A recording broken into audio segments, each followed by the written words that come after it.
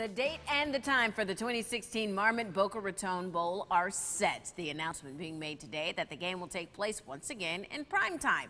Kickoff is at 7 p.m. on December 20th at FAU Stadium. So go ahead and mark your calendars.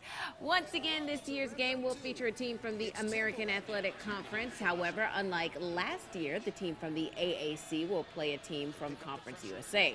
Entering its third year, the game has grown into one of the largest sporting events in Palm Beach County, and tournament organizers see no reason why that growth will stop anytime soon. We've had two years of really great matchups. Our first game, we were the only game outside of the college football playoff that matched up conference champions this past year with uh, Toledo and Temple. We had two teams that were in the top 25 during the course of the season. So we feel like that we've had great games. We feel like that the community has really gotten behind our event and supported it. And we're really proud of that. And uh, we feel like that uh, our game has a good reputation out amongst the schools and conferences.